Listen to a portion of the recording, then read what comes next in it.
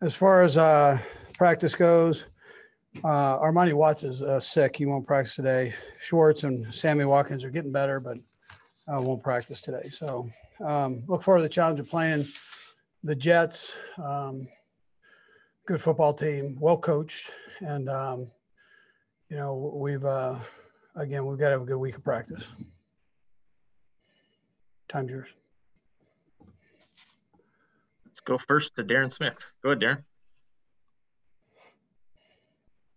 Hey, Coach. Uh, good morning to you. Um, you know, obviously, Election Day is coming up next week. Just your your thoughts, your closing thoughts on what you all view as success uh, with what you all are doing with the voter registration that you've done thus far, and then using Arrowhead uh, as a location, polling location this Tuesday. Yeah. So listen, I, I'm proud of our guys for uh, having the wherewithal to come up with uh, a plan. And then for our organization, uh, Clark Hunt and Mark Donovan, uh, to work with them to get it done. And I mean, you don't see that all the time. So um, that that respect for the for the players and the players' respect for our ownership, I think, is is very important uh, to have. And so uh, to actually have it here uh, on campus per se, but uh, right here at Arrowhead, I think is a tremendous tribute to all that were involved in getting it done. Let's go next to Sam McDowell. Go ahead, Sam.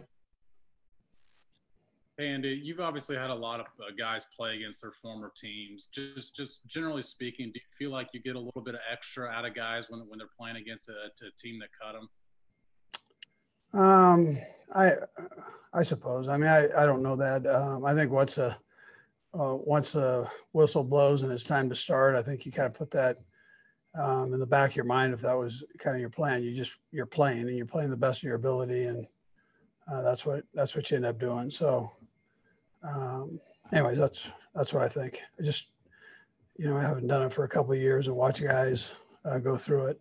Um, I think that's what happens. Let's go next to Herbie Teope. Go ahead, Herbie. Hey, Coach. Good morning. Off the football field, um, it seems like the city of Kansas City is making a push to, to, to attempt to lure the Toronto Raptors here. If you could make a, a, pitch to the Raptors of why Kansas City would be unique for them, what would it be?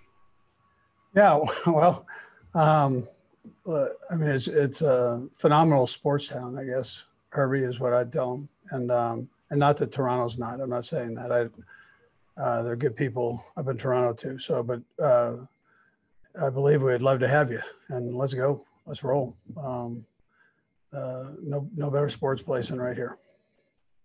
Let's go next to Nate Taylor. Go ahead, Nate. Hey, Andy. I know we're getting Travis uh, here in a little bit. I wanted to ask you just in terms of production, consistency, uh, even improving as a run blocker uh, from when he started. Just where are you most impressed with what Travis has done this season so far?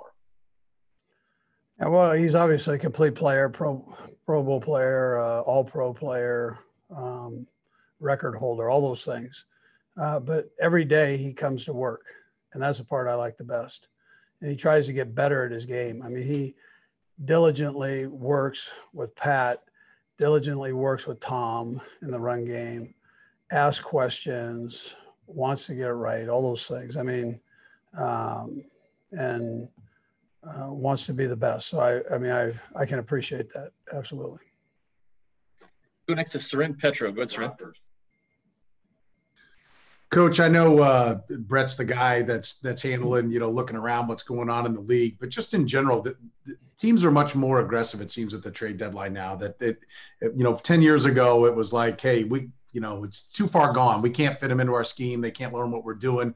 But more and more, we're seeing guys do that. Why? Why? Why do you think it is? Uh, that that guys are now able to change teams in season and, and be effective, or is it just about maybe young general managers like Brett Veach that are much more aggressive than maybe the old guard?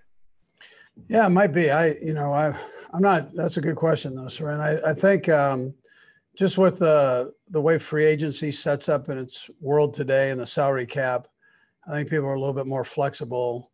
Uh, and you have to be with bringing people in and letting people go. And um, and so I think just with time here, that's ended up uh, causing people to be a little bit more aggressive and feel more comfortable bringing people in. But um, I, I can't tell you the success rate right off the top of my uh, mind here, but I could I could uh, tell you before free agency wasn't a high success rate.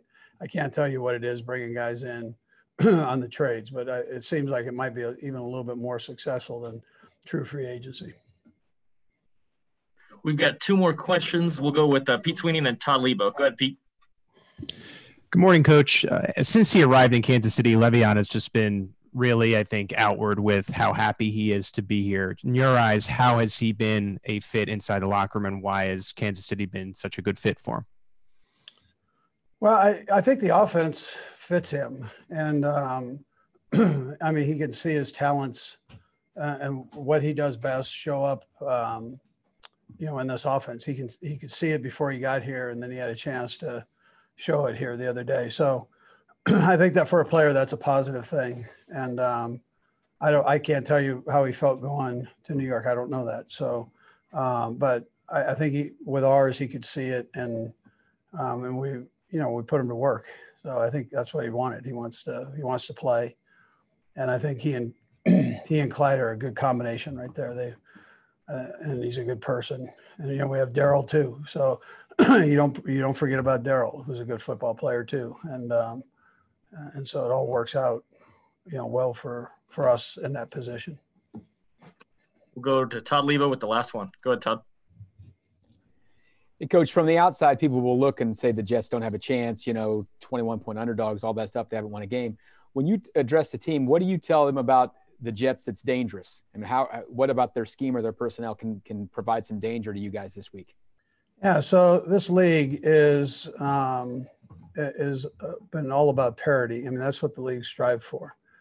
And so it's never as good as you think and never as bad as you think. Um, whether it's driven by the gambling or whether it's driven by the media, you know, whatever it's driven by that pre- present those numbers, I, I don't pay attention to them first, but I, you mentioned them to me. So I, um, I go off of what I see on tape. I go off of that every week somebody gets picked off that was one of these favorites or whatever. And so you go back and you focus on your agenda and you study the opponent, you respect the opponent, and then you get yourself right to make yourself get better every week.